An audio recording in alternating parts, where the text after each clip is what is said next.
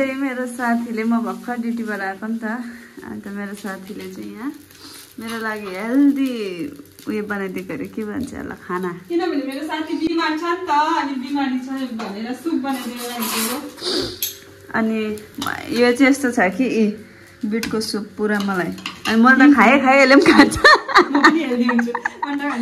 अन्डा खाँदैन। म हो।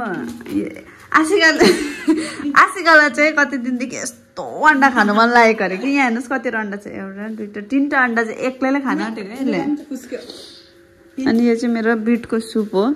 मेरो फ्रुट्सहरू यहाँ छ गाइस होइन? के गर्नु? यस्तै छ जिन्दगी। बिटको बिटको सुपै खाँदै बस्नु पर्दैछ बिहान उठ्यो। हामी चाहिँ बिहान म म- म चाहिँ बिहान उठ्यो सुप। बेलुका। आयो सुप।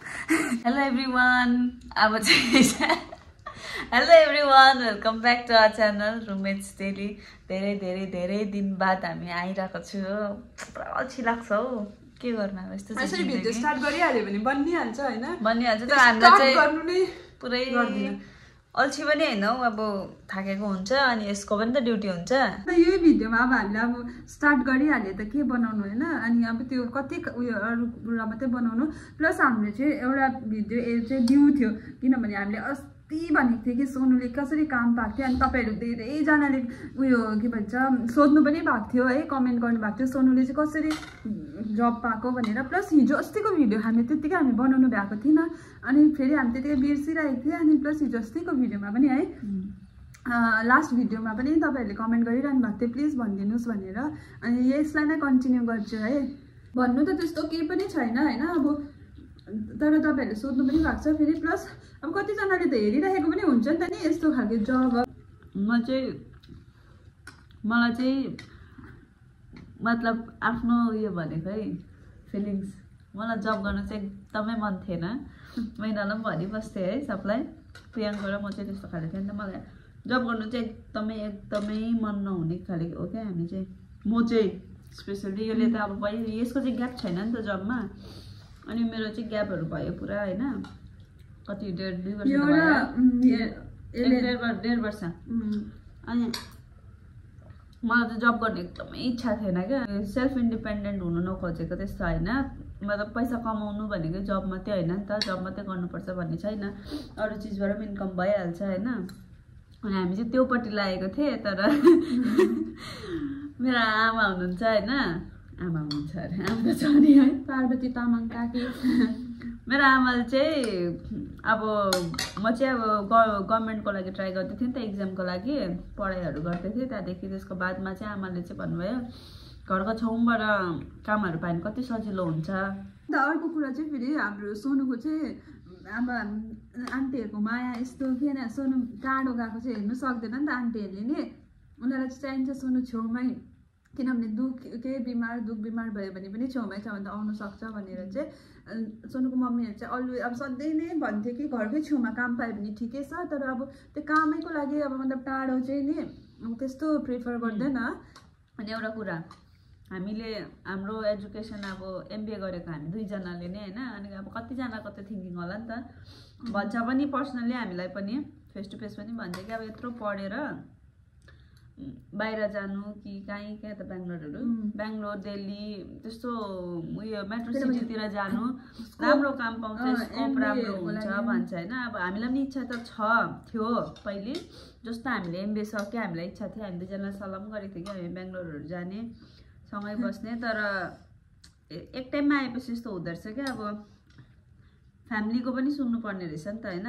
कतिवटा कुरा यस्तो हुन्छ कि अब फ्यामिलीलाई अब हामी यस्तो हो उसको पनि दाजु बाहिर छ नि मेरो. हाम्रो पनि मेरो पनि बाहिर छ अनि अब कोही बेला आम आमाहरू फेरि कति बिमार भइबस्छ नि। अब सानो सानो ठुलो बिमार नभए पनि सानो सानो अब। है विकमा कहिले के हुने कहिले ज्वरो आउने के हुने अब त्यति बेला त कोही न कोही त चाहिन्छ घरमा एक्लै होइन। अब त्यसको लागि अब टाढो छ भने हामी कसरी त्यही टाइममा पुग्नु सक्यो यहाँ छ भने त दुई तिन घन्टाको बाटो त्यो जाँदाखेरि पनि भयो कि यहीँ ल्याएर राख्दा पनि भइहाल्यो। अनि त्यो गर्दा पनि हामी अलिकति अब भन्छ हाम्रो लागि नसोच अब होइन जे आफूलाई खुसी लाग्छ त्यो गर भन्दा पनि अब आफ्नो मनले चाहिँ अब एउटा अलिकति भए पनि अब जति नै उनीहरूले तिमीलाई फ्री छोडिदिएको छु भन्दा पनि हाम्रो पनि कन्सर्न हुँदो रहेछ क्या। हाम्रो दिमाग आउँदै गयो ठुलो हुँदै गयो तब चाहिँ थाहा भयो कि अब फ्यामिली पनि कति इम्पोर्टेन्ट हो नि त हाम्रो लागि। अब हाम्रो हामी दुईजना हो म र दादा। यो पनि दुईजना हो अनि मेरो बहिनी पनि छ एकजना होइन बहिनी सानै छ। उसले आमालाई त्यस्तो हेर्नु सक्दैन किनकि घरको छेउमा बसेको कारण चाहिँ म त्यही हो। कि म कहीँ नगएको टाढो जब पनि नगरेँ। यसको पनि सेम पनि यसको पनि। एकजनालाई त यहाँ हुनु पऱ्यो नि त सपोर्टको लागि है। हामी न आफू आफूलाई पुग्ने कमाइन भइहाल्यो। मेरो चाहिँ त्यही छ थिङ्किङ हो अनि नेक्स्ट कुरा चाहिँ मेरो भयो।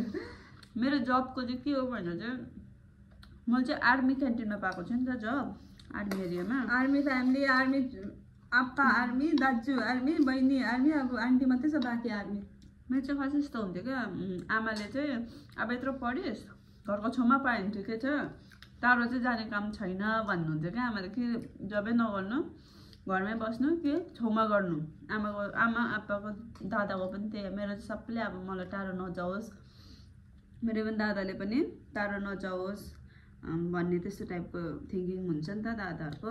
अब त्यो केयर हो उनीहरूको? अनि यसले चाहिँ के भनेको थियो भने म चाहिँ यो इयर चाहिँ घुमेर मात्रै बिताउँछु। यो इयर चाहिँ म घुम्नुको लागि राखेको म केही गर्दिनँ लाइफ इन्जोय गर्छु भन्दै थियो होइन? ठिकै वर्ष भएछ फेरि। अँ, म तर घुम्दै पनि थिएँ है. हल्का फुल्का कता कता सिलङ मेरो लास्ट ट्रिप सिलङ थियो होला होइन? प्रियङ्का हामीसँग हामी. मलाई आमाले चाहिँ क्यान्टिन जा- गएर आउँछु भन्नुभएको थियो एक दिन अनि क्यान्टिन जानु भयो क्यान्टिन गएर आउँदाखेरि त मलाई त डङ्का डङ फोटो पो पठाउँछ हो. वाट्सएपमा अनि के पठायो भनेको त जब भ्याकेन्सी आएको रहेछ अनि आमाले चाहिँ पुरा हेरिराख्नुहुन्थ्यो नि त आर्मी एरियामा चाहिँ आमाले पुरा मन पराउनुहुन्छ नि त अब आर्मीकै रुल्स होइन सब कुछ आर्मी अब सिभिलै काम भए पनि. प्राइभेटै काम भए पनि सब कुछ अब आर्मीको अन्डरमा आउँछ सिक्योर हुन्छ घरको छेउमा पनि हो भनेर चाहिँ त्यो सोच्नुहुन्थ्यो आमाले त्यही भएर चाहिँ जहिले यस्तो भन्थ्यो मसँग जान्थ्यो कि क्यान्टिन सोध न मतलब जो त्यहाँ बिलिङहरू गरेर सोध न कसरी पाएको यिनीहरूले? सोध त्यस्तो भन्नुहुन्थ्यो तर म सोध्थिनँ अब आफ्टर हुन्छ नि त। अरू सोध्थिनँ। फेरि यस्तो हुन्छ नि आमाले अरूहरूले काम पाएको हे? त्यसले त पाइसक्यो? त्यो चाहिँ त्यो क्या कम्पेरिजन है? अनि आमाले चाहिँ त्यहाँदेखि एकपल्ट चाहिँ गएर आउँछु भन्नुभयो। मलाई त फोटो पुरा पठाउनु भएन।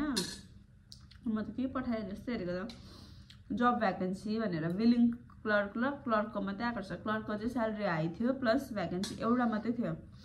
अनि बिलिङ क्लर्कको चाहिँ भ्याकेन्सी छवटा जस्तो थियो नि त त्यसमा। अनि मैले सोचेँ एउटामा मैले क्लर्कमा मात्रै गरेँ भने एकजना भ्याकेन्सीमा त अब कतिजना आउँछ होइन? अब क्यान्डिडेट त पुरा आउँछ। बेसी दिमाग चलाइस अँ एकजना मात्रै अब साह्रै पर्छ नि त त्यसमा छिर्नु। क्लर्क भनेको पुरै हेर्नुपर्छ नि त। अनि त्यसमा चाहिँ अलिक अहिले म त्यसमा ठिक छुइनँ म बिल्डिङमै जान्छु भनेर चाहिँ अनि आमाले पुरा फोर्स गरेँ म त एकदम मेरो मेरोबाट त नो नै थियो अब। मतलब म जाँदिनँ टाइपको। मैले त चाहिँ के लेखेको थियो? मतलब त्यो बाहिरै टालेको थियो? बाहिर बोर्डमा टालेको थियो अरे हौ। नोटिस बोर्ड हुन्छ नि। त्यहाँ टालेको थियो अरे भ्याकेन्सी त्यति छ। अनि एप्लिकेसनहरू बुझाउनुपर्छ भनेर। पुरा आर्मी रुल्स नि त त्यहाँ फेरि। अब त्यो हाम्रो जब बाहिरको जब जस्तो होइन। कि सिबी लग्यो गयो। इन्टरभ्यू भयो। अनि त्यही दिन भन्छ कि भोलिपल्ट भन्छ त्यस्तो छैन त्यहाँ फेरि सिस्टम. त्यहाँदेखि आमाले मलाई त्यस्तो पठाएपछि त्यसको कति एक हप्ताभित्रमा आमाले कसलाई कन्ट्याक्ट गरे गरे त क्यान्टिनमा मलाई थाहै छैन. को कोलाई अब पुरा चिनजान बनाएछ होइन नम्बरहरू कन्ट्याक्ट गरेछ अनि कहिले कहिले कहिले उयो छ एप्लिकेसन बुझाउनु? पर्ने इन्टरभ्यू दिनुपर्ने मतलब के प्रोसेस छ.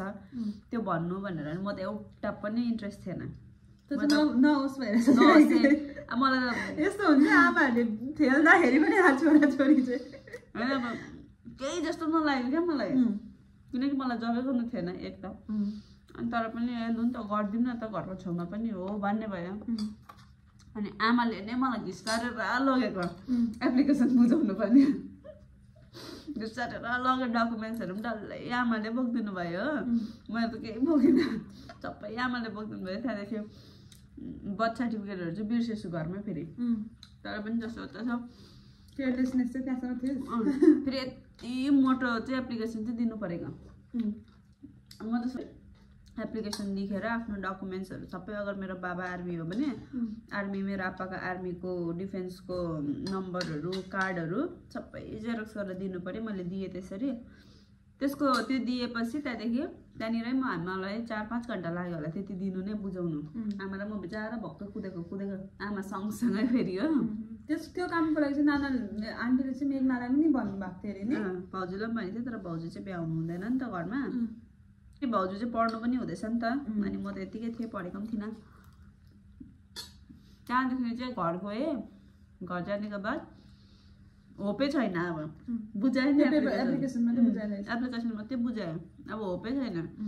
त्यहाँदेखि त के गर्नु? फेरि यस्तो सोध्यो। कति पढेको भने एमबिए भने अनि एमबिए गरेर किन क्लर्कको गर्न बिलिङ क्लर्क गर्ने भने होइन? अनि छेउमा छ भने मैले त्यति चाहिँ सोधेँ त्यति बेला. घर छेउमा छ मलाई सजिलो पर्छ भने ठिकै छ भने म त हेर्नु म क्यान्सल अब। सोचेँ भने त ठ्याक्कै बिस दिन बाद सिलङ घुम्नु अगाडिको कुरा हो यो सिलङबाट आइसकेर त्यहाँदेखि चाहिँ मलाई फोन आयो इन्टरभ्यूको लागि चाहिँ जनवरी बाह्र तारिक थियो त्योभन्दा अलिकति अगाडि फोन गरेको थियो. जनवरी बाह्र तारिक चाहिँ तिम्रो उयो छ के पो यो इक्जाम छ. हाम्रो चाहिँ इक्जाम हुँदो रहेछ नि त त इन्टरभ्यू हुँदैन रहेछ इक्जाम हुँदो रहेछ त्यहाँनिर चाहिँ उयो के पो टाइपिङ अन्त इक्जाम टाइपिङ इक्जाम छ अनि स्पिड? एक मिनटमा सिक्सटी वर्ड लेख्नुपर्ने टाइप गर्नुपर्ने। त्यो थियो यस्तो जाडो त्यो दिन मेरो बर्थडेको दिन यस्तो जाडो थियो म त यस्तो भएको। बर्थडेको जाडो दिनमा चाहिँ काम पाउँदो रहेछ है।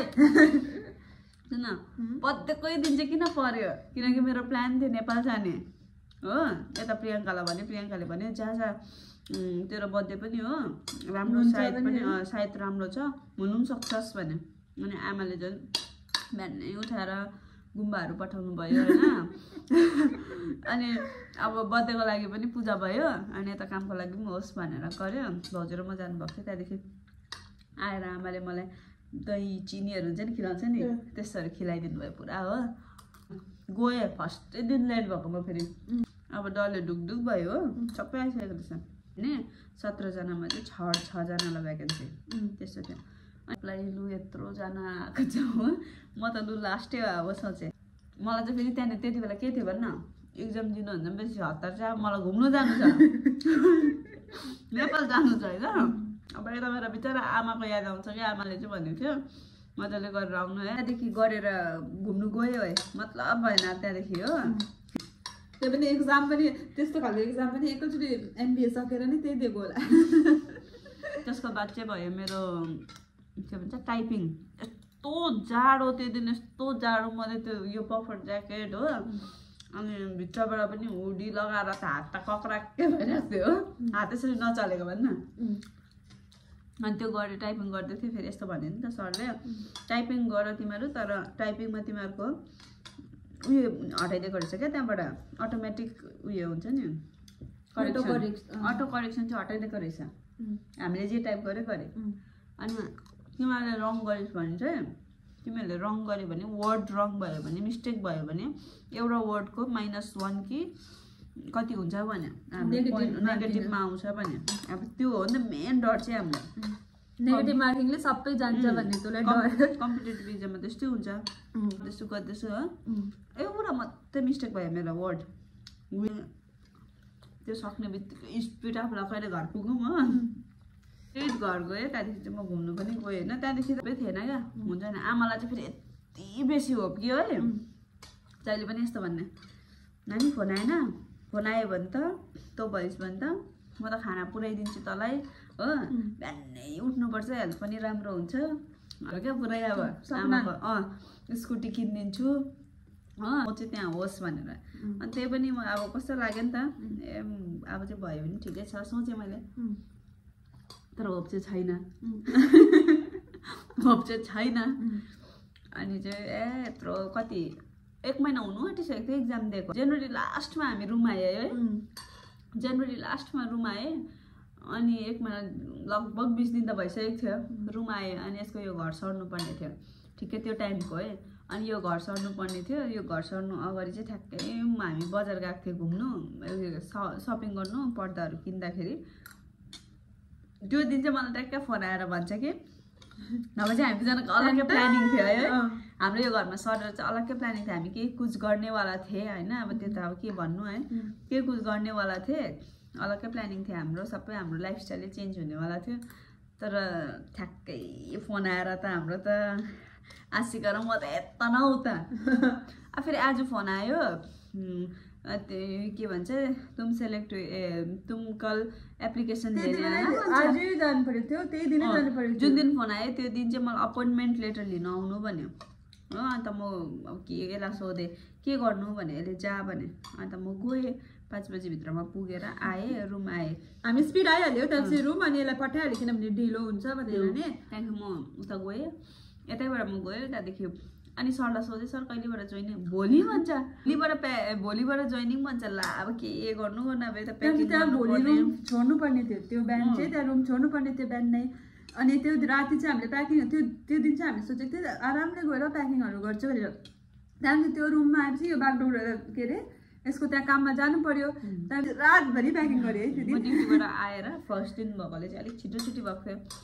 त्यहाँबाट आएर चाहिँ यति बेसी प्याकिङ गर्नु परेको थियो घरमा फेरि है। त्यसको फेरि भोलिपल्ट लगा लगे अब यहाँ सर्नु पर्ने अनि बिहानै सरेर जस्तो सऱ्यो त्यस्तै म फेरि सात आठ बजीभित्रमा यहाँ सरिसकेको थियो होला है। ए त्यो दिन मेरो छुट्टी थियो बिहिबार परेको थियो।